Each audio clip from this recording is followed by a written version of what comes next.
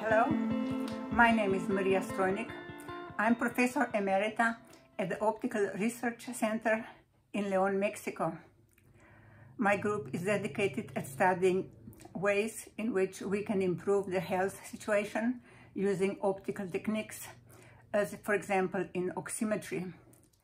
Furthermore, we're interested in improving the devices that are used in energy and energy conversion, again using optical techniques to optimize their, their efficiency.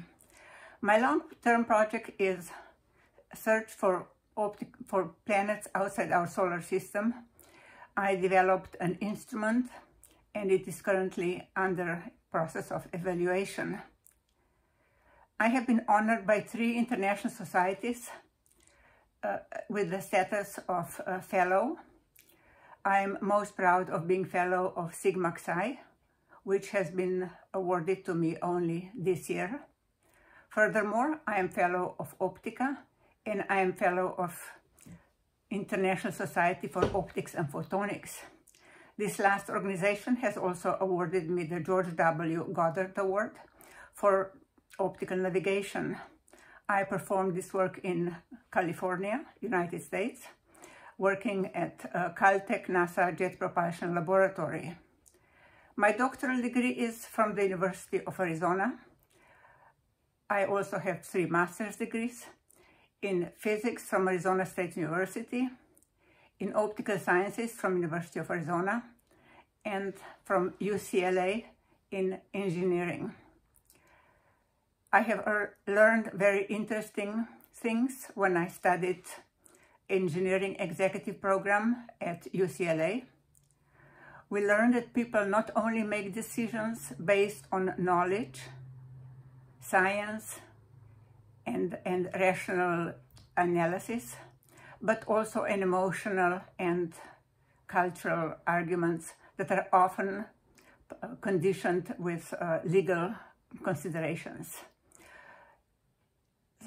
So we need to learn as, as uh, members of Sigma Xi to strengthen the arguments that we use and to adjust them to different levels of people with their education and their ability to accept the information so that our arguments can be accepted for all kinds of people.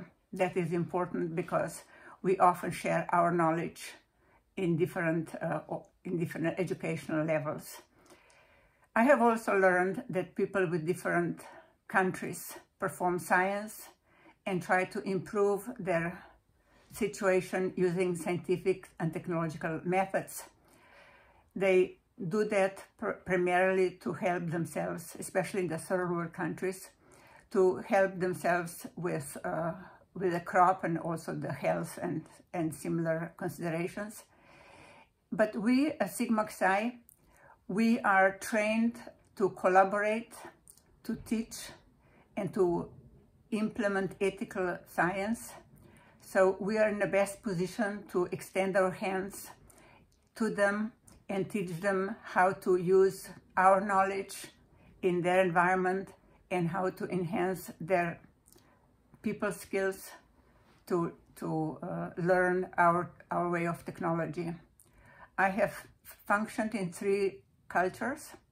In Slovenia, I registered for the first year of physics at University of Ljubljana, and I had opportunity to study with four students from Congo. In Mexico, our students have learned because they performed very good quality work, publishing two refereed papers in uh, journals with impact factor, that they get accepted all over the world, including at such prestigious university at the Harvard University. And so our so people are more or less the same all over the world. They're willing to do ethical research we just need to bring together those people who are interested in using science for betterment of the, of the humans. Sigma Xi promotes service, teaching, and mentoring. We go to school, we teach children, and, and I certainly have learned that children are interested in science. Possibly they lose a little bit of that interest as they go through the school system. Maybe they need more encouragement, using better technology, better experiment, better equipment, possibly even better teachers. And so we, we, we need to work as a society to make STEM education one of our priorities. We want to be sure that our students are ready to confront the world in the 21st century. And that means to know science, technology, engineering, and mathematics. In conclusion, if you decide to choose me as your president, I will take a sabbatical leave and I will dedicate my time and effort to represent you and our society in achieving the goals of our society becoming truly the best in the research enterprise, in promoting research enterprise for the purpose of improving the human condition. I propose to organize a conference in Cancun, Mexico. This city is basically centrally located for Americas, for Europe, and for Australia, where our society has most members. And finally, I want to work very closely with the executive director of our society in order to make our society more lean, and to be more responsive to our diverse membership.